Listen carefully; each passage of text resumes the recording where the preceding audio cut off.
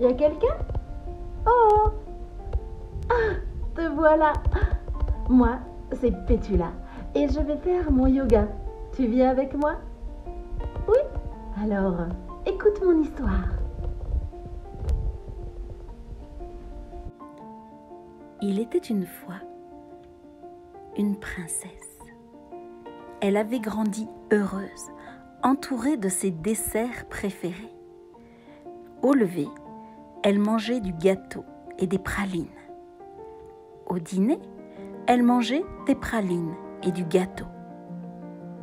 Comme dessert, elle dégustait de la glace aux pralines. Elle était gourmande et son visage était rond, ses joues étaient rondes et tout son corps était rond.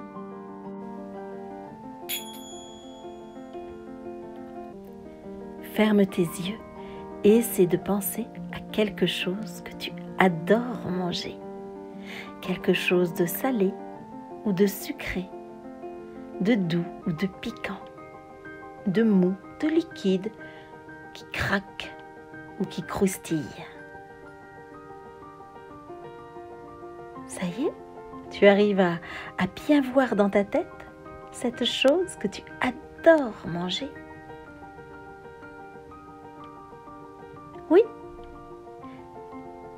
Alors maintenant, essaie de l'imaginer encore plus fort et de sentir son odeur.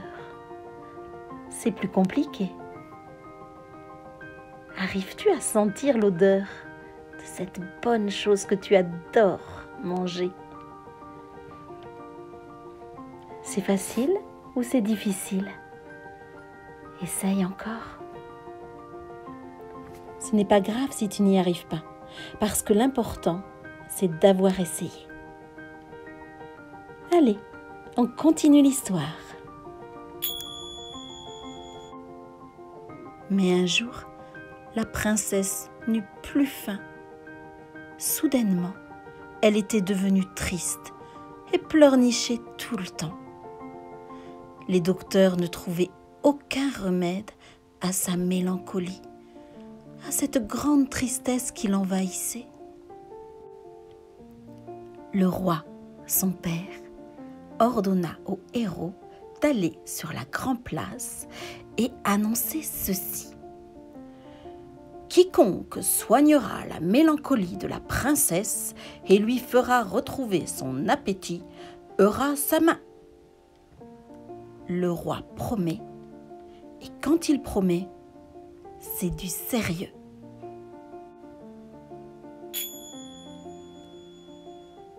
Petite parenthèse, à cette époque, les rois avaient tendance à penser que leur fille princesse chérie était un peu comme un bel objet, comme une monnaie d'échange, que le but dans la vie pour une princesse était de se marier, et c'est tout.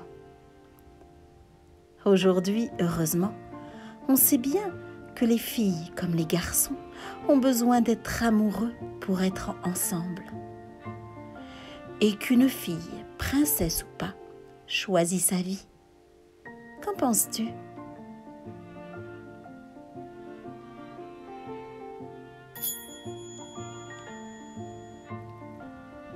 Mais retournons à notre histoire. Évidemment, après l'annonce du roi, une multitude de prétendants afflua vers le royaume.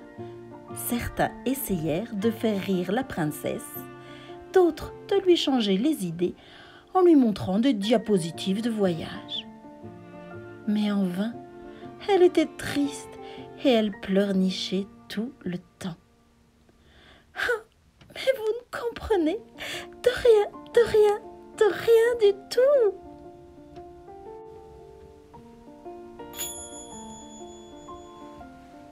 Moi, je connais un truc lorsque l'on est un petit peu triste pour aller mieux. On essaye ensemble Alors, déjà, tu vas mettre un grand sourire sur ton visage. Oui, oui, on sourit comme ça, sans savoir pourquoi. Sens que ta bouche remonte jusqu'à tes oreilles, tes yeux se plissent. On voit tes jolies dents. Reste comme cela, avec ce grand sourire sur ton visage. Oui, juste pour le plaisir de sourire. On ne sait pas pourquoi on sourit, mais on met un beau sourire sur notre visage. Garde encore ce joli sourire, encore un peu. Je sais, c'est bizarre de sourire comme cela sans raison, de sourire tout seul. Mais ça fait vraiment du bien à l'intérieur de nous. Continue de sourire encore, encore un peu. Toujours ce petit sourire ou ce grand sourire. Alors, comment te sens-tu?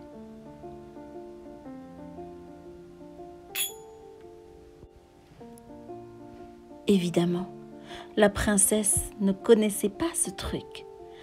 Et donc, la mélancolie continuait de l'envahir. Maurice, le ménestrel de la cour, était ému par son chagrin. Pourquoi? Parce qu'il était profondément et secrètement amoureux de la princesse.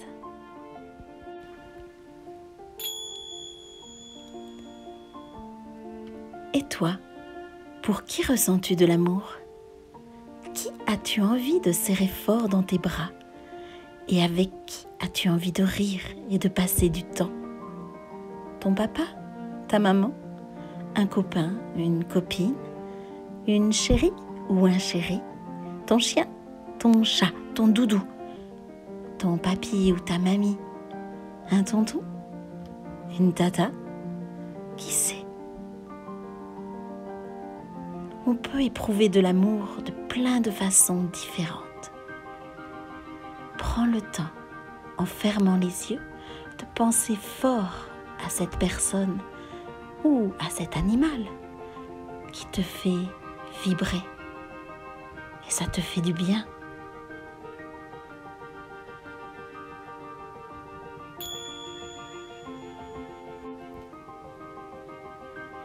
En tout cas, Maurice, lui, ne pensait qu'au bonheur de la princesse.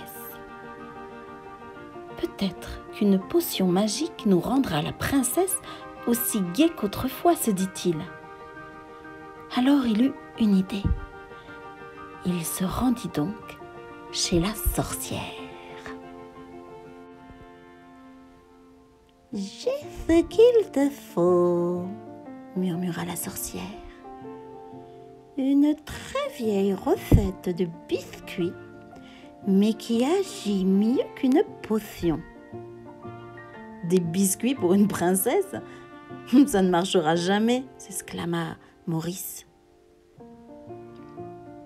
Fais-moi confiance. Ce n'est pas un biscuit ordinaire. C'est un spéculoos. Avec son goût puissant, il redonne le sourire à un croque-mort. Le spéculoos, c'est la solution. Mais tu devras être patient et courageux, car les épices du spéculoos sont introuvables dans notre royaume. Es-tu prêt à voyager dans des contrées lointaines pour ramener le gingembre, le clou de girofle, la cannelle, la cardamone et la muscade Oui, oui, sorcière, par amour pour la princesse, j'irai, s'écria Maurice. Avant de partir à l'aventure, Maurice envoya une lettre secrète dans laquelle il révélait tout son amour pour la princesse.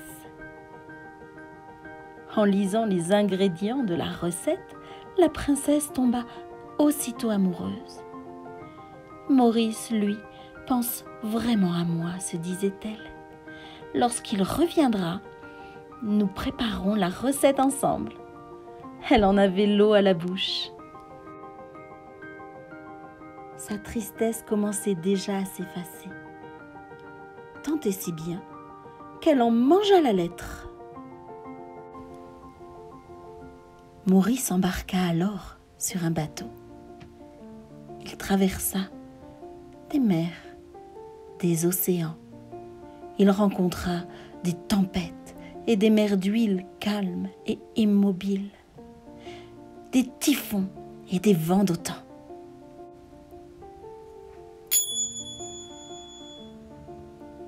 Allonge-toi sur le dos et replie tes genoux, tes jambes sur ton corps. Tu peux attraper tes genoux avec les mains sans forcer. Ainsi tu formes une petite boule sur le dos. Et tu peux te bercer doucement, te balancer d'un côté de l'autre légèrement, comme si tu étais sur un bateau et qu'il y avait de douces vaguelettes. Laisse aller d'un côté, de l'autre. Ferme les yeux. Imaginer des tempêtes en faisant beaucoup plus fort. Ou tout doucement, un petit mouvement imperceptible. À toi de choisir comment se passe ton voyage.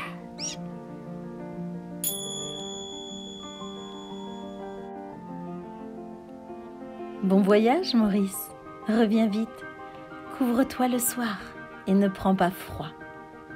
Direction l'Afrique.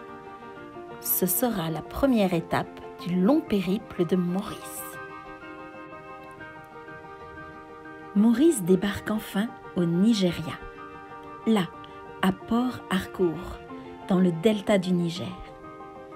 Il échange sa cargaison de chicons contre une cargaison de précieux gingembre. Le gingembre, c'est la tige souterraine d'une grande plante, un peu comme une racine.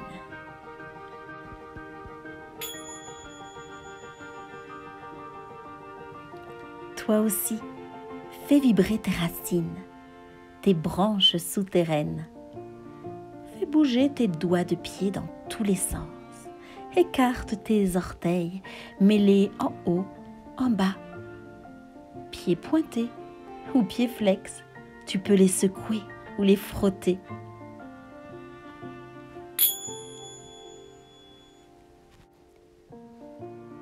Maurice continua son voyage. De l'autre côté de l'Afrique, sur l'île de Zanzibar, c'est la saison des clous de girofle. Avec de longues échelles en bambou, Maurice et ses compagnons grimpent sur les girofliers pour y cueillir les boutons fleuraux.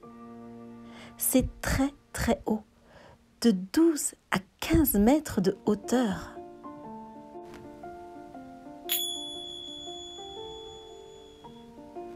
À toi maintenant de te sentir aussi grand qu'un arbre, avec tes branches qui poussent, qui poussent. Mets tes bras en l'air et étire-toi, grandis-toi jusqu'au bout de tes doigts.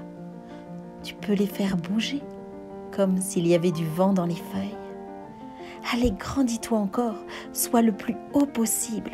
Essaie de toucher le plafond, les nuages, le soleil, les étoiles. Encore, encore. Grandis-toi. Tu pousses, tu t'allonges, tu es immense.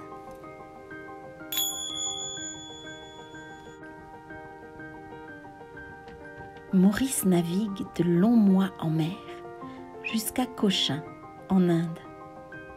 En habile marchand, il échange des boîtes de sardines à l'huile qu'il avait emmenées de chez lui contre de la cannelle parfumée. Sur une grande carte, il trace en vert son trajet vers l'Orient et en rouge sa route de retour. Et toi, te souviens-tu du dernier voyage que tu as fait? Un petit ou un plus grand? Très loin ou à côté? Peu importe. Essaie de te souvenir. Ça y est Est-ce que tu as aimé ce voyage?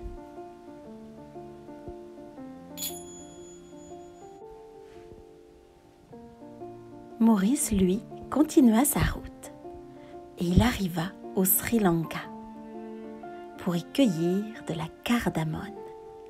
La cardamone, c'est la graine d'une plante qui pousse dans les régions montagneuses. Après une dure journée récolte, Maurice boit un café bien chaud assaisonné à la cardamone. La nuit va être froide dans la montagne, mais que ne ferait-il pas pour sa princesse? Dernière étape, Padang, dans l'archipel des Moluques en Indonésie. La noix de muscade est l'ingrédient qui lui manquait.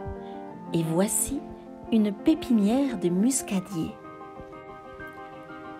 Pour remercier Maurice de sa visite, une déesse indonésienne lui donna un coup de main pour la cueillette des noix de muscade.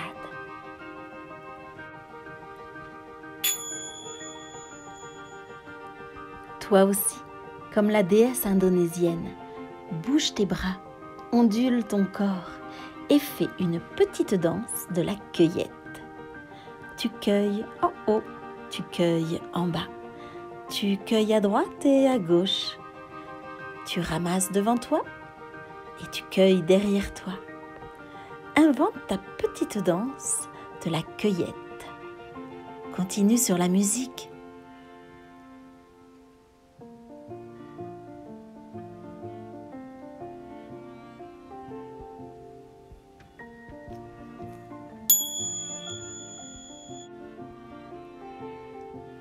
De longs mois d'absence, Maurice est enfin de retour. Avec lui, toute une cargaison d'épices et plein de nouveaux amis qu'il s'est fait en chemin. Aussitôt arrivé, il se mit en cuisine avec le grand chef cuisinier du royaume, sa douce princesse, et un peu de farine, du beurre, des œufs et des épices. On mélange le tout, on met au four. Une bonne odeur chaude et sucrée envahit la pièce. Les merveilleux spéculoos étaient prêts à être dégustés. Tu devines la suite de l'histoire. Maurice, la princesse, ah, ils se marièrent et eurent beaucoup de spéculoos et plein d'autres petits gâteaux. En attendant, nous, on va faire des spéculoos. Alors je te laisse la recette magique et quand tu auras le temps et l'envie, eh bien mets la main à la pâte en te faisant aider d'une grande personne. Voilà, je te laisse les ingrédients et tout ce qu'il faut faire dans le bon ordre.